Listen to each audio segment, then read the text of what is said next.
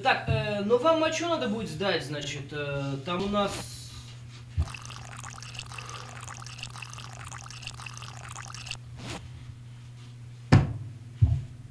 Что, простите?